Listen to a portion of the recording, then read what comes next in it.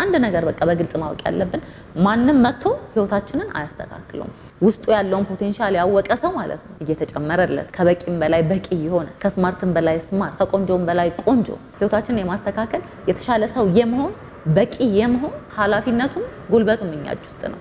እኔ ዳጊን የሚመስል ዲኤንኤ እዚህ ምድር ላይ ለማግኘት chance ኡ በቃ trillions ነው፣ አይገኝም። unique ነን እያንዳንዳችን። አሀ ለካ እኔ በቂ ነኝ፣ በቃ ለካ እኔ ሙሉ ነኝ።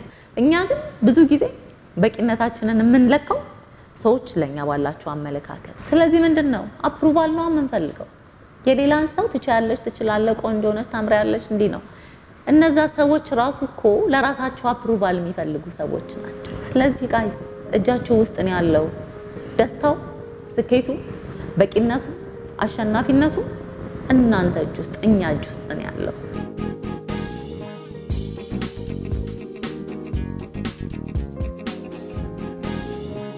አንቺ በቂ ነሽ፣ አንተ በቂ ነህ፣ እናንተ በቂዎች ናችሁ። ጤና ይስጥልኝ ተመልካቾቼ፣ ወዳጆቼ፣ አክባሪዎቼ እንደምን ከርማችኋል? ዛሬ ላወራችሁ ያሰብኩት ጉዳይ በእያንዳንዳችን ሕይወት ውስጥ የሚከናወን በቃ ሌሎችም ሰዎች ላይ ሲሆን የምናየው ነገር ነው። በጣም ዋጋ የሚያስከፍለን ነገር ነው። ያ ምንድን ነው? በቂ ነኝ የሚል ስሜት አለመሰማት፣ ሁሌ የጎደለን ነገር ያለ አይነት ስሜት መሰማት፣ በራሳችን አለመተማመን። በቃ አይደለ ቆንጆ አይደለሁም ሊሆን ይችላል፣ ስማርት አይደለሁም ሊሆን ይችላል፣ የሚያገባኝ አላገኝም ሊሆን ይችላል። ብቻ በጣም እንደዚህ አይነት ተመሳሳይ ሀሳቦች ወደ አይምሮቻችን የሚመጡብን በጣም ብዙ ሰዎች አለን እና የእኛ ጥፋት አይደለም እንደዛ ስለተሰማን እንደዛ ስላሰብን ያ ያሰብነው ነገር ደግሞ እንግዲህ ሁሉ ነገር ከሀሳብ ነው የሚጀምረው አይደል? እያንዳንዱ ነገር የምናየው ጠረጴዛ፣ የምናየው አበባ፣ የምናየው ቤት፣ የምናየው ህንፃ በሙሉ የሆነ ሰው የሆነ ቀን ያሰባቸው ነገሮች ናቸው። ሀሳቦች ናቸው ወደ ተግባር ሲለወጡ ነገሮች የሚሆኑ። ስለዚህ እኛም አይምሮ ውስጥ የሚመጡ እንደዚህ በጎ ያልሆኑ ሀሳቦች በተለይ በቂ ካለመሆኑ ጋር ተያይዞ የመጡ ሀሳቦች በጣም ዋጋ ያስከፍሉናል። ሲያስከፍሉንም ኖረዋል።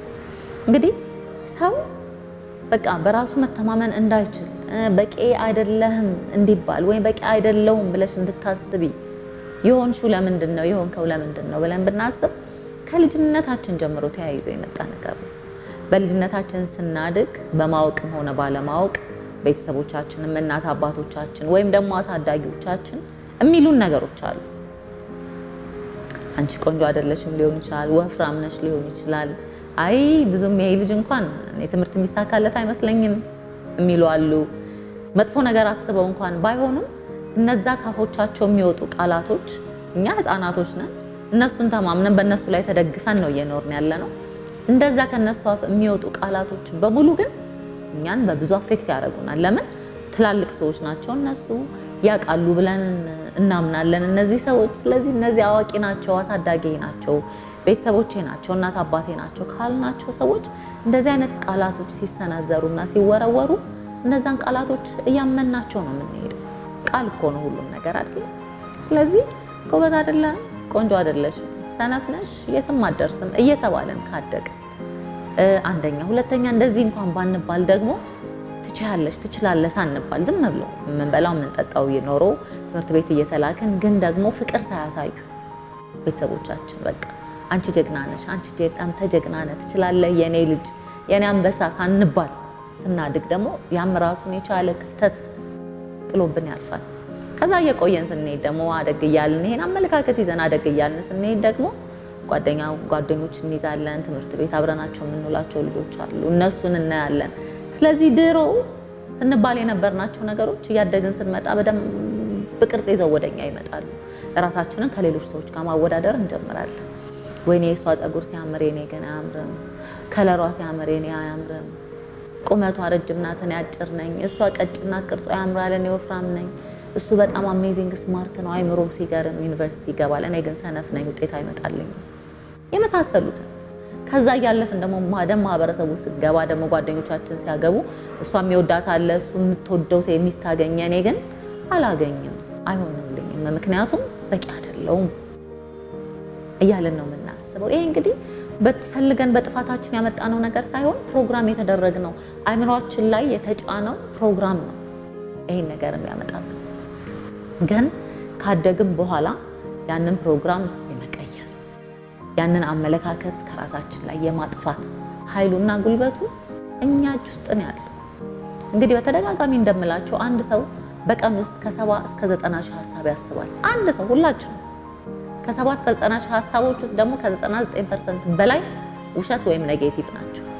imagine ቀኑ ሙሉ ስናስበው የምንውለው ሀሳብ አብዛኛው ወይ negative ነው ወይ ውሸት ነው።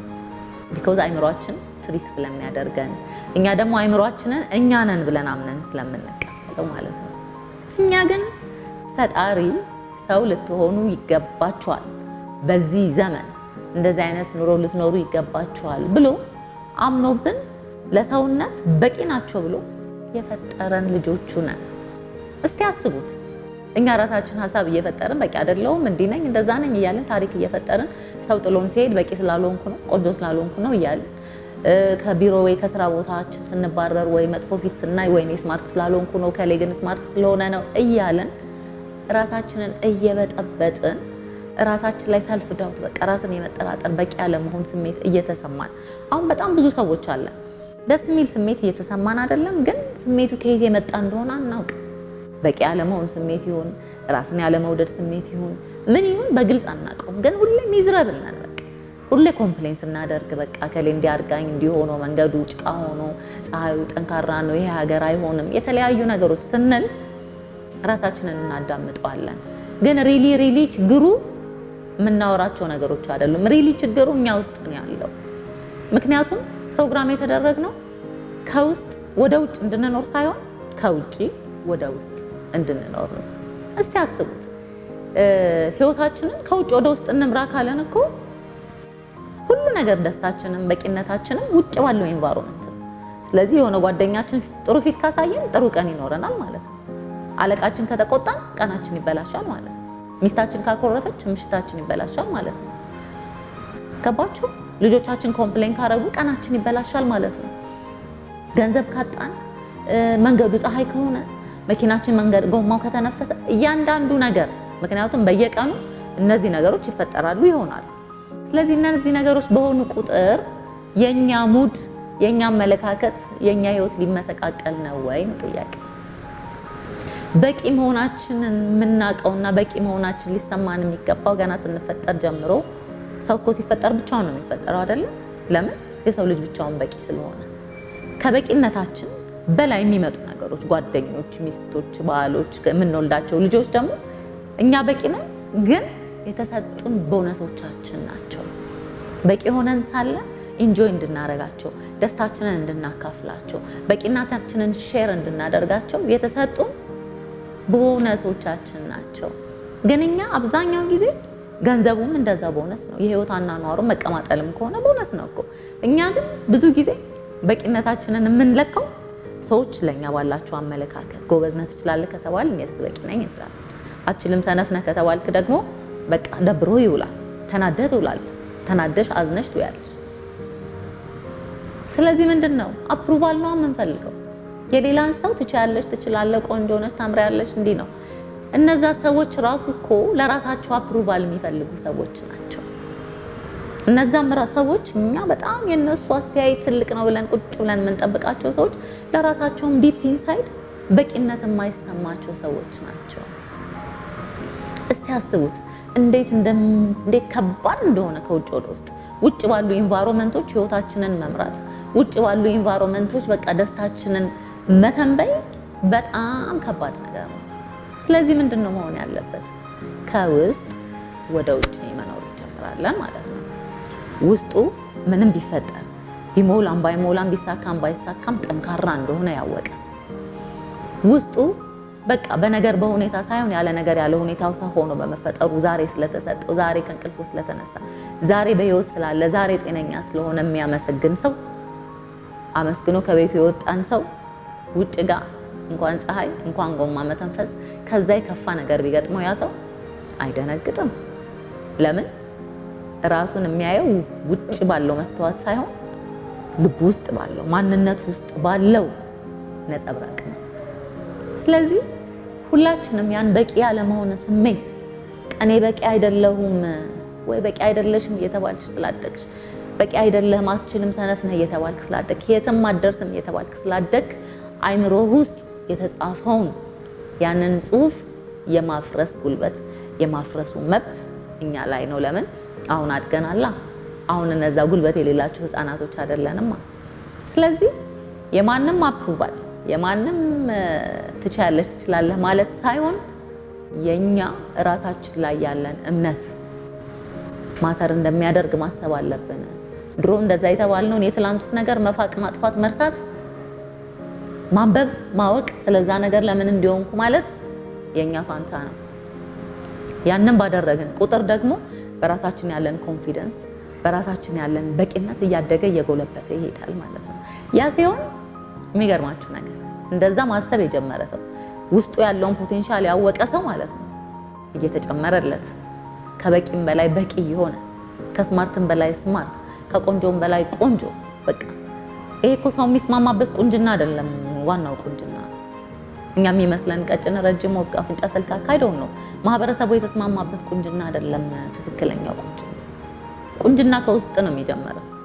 እንዴ ስንት መልካቸው ቆንጆ የተባሉ ሰዎች ህይወታቸው miserable ሆኑ፣ ሲያዝኑ፣ ሲጨነቁ፣ ሲከፉ ከ mental health ጋር struggle ሲያደርጉ እያያችሁ አይደል?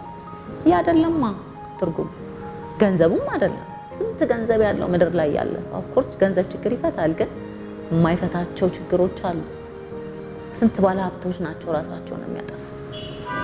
ስንት ባለ ገንዘብ ነው በቃ ህይወቱን በቃ በ miserable በቃ በሰቀቀን በሀዘን የሚያሳልፈው በመከፋት። ስለዚህ ቁልፉ ውስጥ ነው። ውጪ በቃ approval የምንፈልግ ሰዎች፣ ውጪ ደስታችንን የምንፈልግ ሰዎች፣ ውጪ እንዲህ ነው የምንል ሰዎች የለም። ውጪ ያለው ነገርማ ከልጅነታችን ጀምሮ እኮ ሰበረን አይደለም? ከልጅነታችን ጀምረን ውጪ ያለውን ነገር ስናዳምጥ ስናዳምጥ ስናዳምጥ የማንሆን አይነት ሰዎች በራሳችን እምነት የሌለን ሰዎች አደረገን። ያ ምን ያሳየናል? አሃ ወደ ውስጤ ነው መመልከት ያለብኝ። ለምን ሁሉ ነገር ከውስጥ ነው መመንጨት የሚጀምረው። ከውስጡ የሚመነጨውን ደግሞ ደስታ፣ ከውስጥ የሚመነጨውን በቂነት፣ ከውስጥ የሚመነጨውን ማንነት ደግሞ የትኛውም ከውጭ የሚመጣ ነገር አያጨልመውም፣ አያጠለሸውም። ምክንያቱም ያን ያህል ጠንካራ ስለሆነ ውጭ ያለው ነገር ውስጥ ያላለን ነገር ፓወር የለውም። ስለዚህ እኔ ሁሌ ነው የምለው ከውስጥ ወደ ውጭ መኖር እንጀምር። እኔ ከውጭ ወደ ውስጥም ብዙ ዓመት ኖሬ አይቼዋለሁ። serve አላረገኝም፣ ጎዳኝ እንጂ አልጠቀመኝም። ስለዚህ ከሌሎች ሰዎች ጋር ራሳችንን የምናወዳድር ሰዎች እኛ ለመወዳደር አልተፈጠርንም። እያንዳንዳችን unique የሆንን ሰዎች ነን። በቂነታችንን በሌላ ሰው አይን ልኬት የምንጠብቅ ሰዎች በፍጹም ሌሎች ደግሞ እኛም ሳናወዳድር እኮ ሌሎች ሰዎች ያወዳድሩናል አይደል? ልጅ ሆነን የእከሌ ልጅ አንደኛ ወጣች፣ አንተ ግን ሰነፍ ነህ፣ አንቺ ግን ሰነፍ ነሽ እንባላለን። ለምን እንደዛ ልጅ አትሆኝም እንባላለን። ስለዚህ እንደዛኛው አይነት ልጅ መሆን ሲያቅተን ምን እንሆናለን? እንሰበራለን። ለምን ያኛውን ልጅ ያችኛዋን ልጅ እንድንሆን ዲዛይን ተደርገን ነው ያደግን። ስለዚህ ያንን ነገር ለመስበር ኃላፊነቱ ጀግንነቱ ሊኖር የሚገባው እኛ እጅ ውስጥ ነው።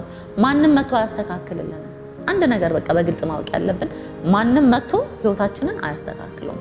ህይወታችንን የመቀየር ህይወታችንን የማስተካከል የተሻለ ሰው የመሆን በቂ የመሆን ኃላፊነቱም ጉልበቱም እኛ እጅ ውስጥ ነው። ቁጭ ብለን የምትመጣዋን ሚስት የሚመጣው ባል ያስተካክለኛል፣ የሚመጣው የትምህርት ደረጃ፣ የማገኘው ሀብት በፍጹም አይሆንም። እመኑኝ አይሆንም። አያስተካክለውም።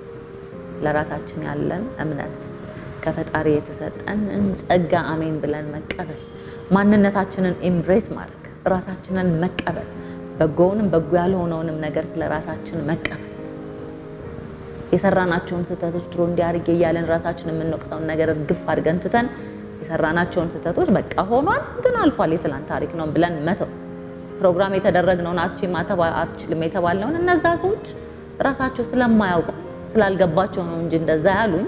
እኔ ከነዛ ሰዎች ቃል በላይ መሆኔን በትክክል ማወቅ ከዛ ደግሞ እያንዳንዳችን እኮ በትሪሊየን እኮ ነው እኔ ዳጊን የሚመስል ዲኤንኤ እዚህ ምድር ላይ ለማግኘት chance ኡ በቃ trillions ነው፣ አይገኝም። unique ነን እያንዳንዳችን። እዚህ ምድር ላይ ስንላክ ፈጣሪ ሲፈጥረን ሁላችንንም ለምክንያት ነው። ምክንያቱን አላወቅነውም ገና ይሆናል። ለዛም ነው በጣም ሰፈር የምናደርገው ዝም ብለን ጭንቀት።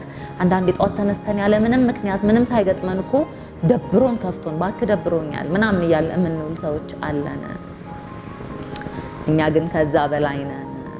ያንን ካወቅን ደግሞ የተሰጠንን እድሜ ምንም ያህል ይሁን ምን አርባ የሚሰጠን ሀምሳ ሀምሳ የሚሰጠን መቶ የተሰጠንን እድሜ በጸጋ በደስታ በአመስጋኝነት ልንኖር እንችላለን።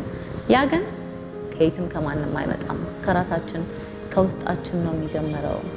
ስለዚህ ከዛሬ ጀምረን በቃ የሆነው የተደረገው ያለፈብን ነገር አልፏል፣ አያገባንም። በቃ የሆኑ ሰዎች የሆነ ነገር ብለውናል፣ አያገባንም። በቃ እኛ ከዛ በላይ ነን። የኛ ማንነት ትልቅ ነው። ስለዚህ ከዛሬ ጀምረን practice እያደረገን ራሳችንን ለሰራነው ስህተቶች ይቅርታ እያለን በቃ አንዳንዴ እኮ ሌላ ሰው ላይ በማንጨክነው ደረጃ ራሳችን ላይ እንጨክናለን አይደል? በቃ እንዲህ አርገሽ እንዲህ አርገህ አንተ እኮ ባለፈው እንዲህ ሰርተህ እያለን ራሳችንን እንወቅሳለን። ሌላ ሰው ይቅር ማለት የምንችል ልብ ካለን ራሳችንን ይቅር ማለት አለብን። እንዲህ እያደረግን እያጎለበትነው ስንመጣ ነው አሀ ለካ እኔ በቂ ነኝ፣ በቃ ለካ እኔ ሙሉ ነኝ፣ በቃ ለካ እኔ ለራሴ ክብር አለኝ፣ ለካ እኔ እንዲህ ነኝ እያለን የራሳችንን ህይወት ቅርጽ ማስያዝ የምንችለው እኛ ነን። ግን ወደ ውስጣችን መመለስ አለብን። የውጭውን ግርግር፣ የውጭውን ጫጫታ፣ የውጭውን ሆሆታና ጩኸት ከአይምሯችን ገለል አድርገን ውስጣችንን በሚገባ ማዳመጥ አለብን። ምን እንደምንፈልግ፣ ምን እንደሚያስደስተን፣ ይህ የሚከፋን የሚጨንቀን ነገር ከምን እንደመጣ መመርመር አለብን።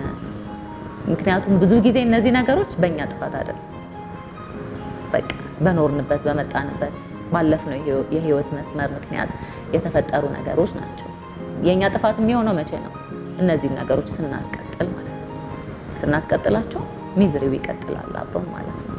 ስለዚህ guys እጃችሁ ውስጥ ነው ያለው ደስታው፣ ስኬቱ፣ በቂነቱ፣ አሸናፊነቱ እናንተ እጅ ውስጥ እኛ እጅ ውስጥ ነው ያለው። ያንን መጠቀም በምንም አይነት የህይወት ደረጃ ብትሆኑ፣ በምንም አይነት life ላይ ብትሆኑ እናንተ እጅ ውስጥ ግን ትልቅ power እንዳለ ማስታወስ አለባችሁ። ያ ሲሆን የማንም አስተያየት የማንም approval ለኛ ምንም ማለት ይሆናል። በጣም እወዳችኋለሁ። መሆን ዘራችን፣ ፍቅር ሃይማኖታችን ይሁን። ሰላም ቆዩኝ።